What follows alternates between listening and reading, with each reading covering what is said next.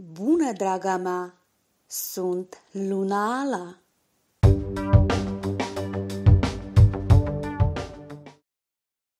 Energiile lui Jupiter în berbec și ale lui Marte în gemeni extind granițele existenței tale, așa cum văd pe astrograma ta natală. Ești profund scufundată în implementarea proiectelor tale. Faci ceea ce-ți place și te motivează. La rândul lor, Venus, Mercur și Soarele în tranzit în raport cu semnul tău îmbunătățesc temperamentul tău.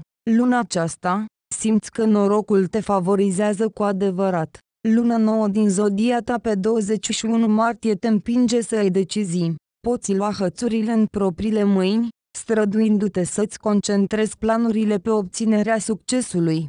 Evenimentele și circumstanțele te forțează să te ocupi de tot ceea ce ai întreprins deja. Așa că fă-o și nu ezita, vei câștiga mai mult decât crezi. Dragoste. Atât timp cât Venus și Jupiter se vor afla în constelația berbecului, înseamnă că în viața de familie și în sfera dragostei, mulți reprezentanței semnului vor putea reuși.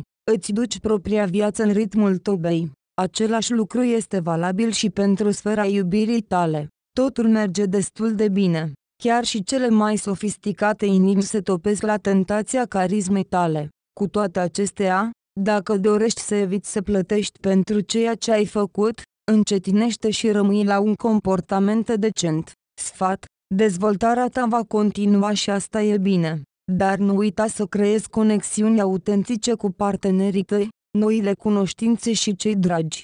Acest lucru te va ajuta să eviți dezamăgirea. Sănătatea Sănătatea ta în acest moment va fi supusă multor teste, stresul la locul de muncă va fi cel mai mare dușman al tău. Indiferent cât de stresantă este viața ta, trebuie să fii optimistă.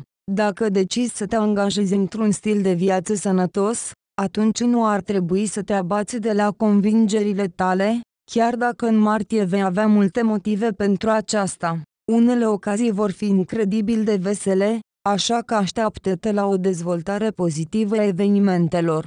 Banii. Vei găsi o mulțime de oferte interesante în materie de muncă și finanțare. Dacă lucrezi pentru o companie, probabil ți se va oferi o promovare, dacă îți conduci propria afacere, atunci te așteaptă relații de afaceri noi, puternice. Acesta este un moment bun pentru a căuta parteneri, aproape fiecare uniune va fi fructuoasă. Urmărește sfatul stelelor în martie, dar principalul este că mereu vor fi prieteni adevărați și oameni apropiați lângă tine. Ei te vor ajuta să mergi pe calea bunăstării financiare și să înflorești cu adevărat în această primăvară. Zilele în care norocul va bate la ușa ta sunt afișate pe ecran. La revedere, draga mea! Nu uita că în fiecare zi îți dăruiesc o previziune și o etalare de tarot. Te aștept!